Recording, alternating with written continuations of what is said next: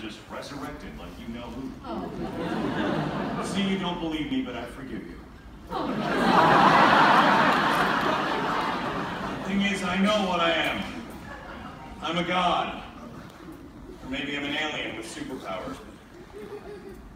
I just don't know what I'm supposed to do. I'll tell you what, how about you and I go and find Larry and get in the van and go back to Pittsburgh? I Pittsburgh? can't go back to Pittsburgh. Why not? They closed down the highway. No, they didn't. Hey, Well, folks, looks like they closed down the highway. Why? What's going on? It's that blizzard thing. Still no signal.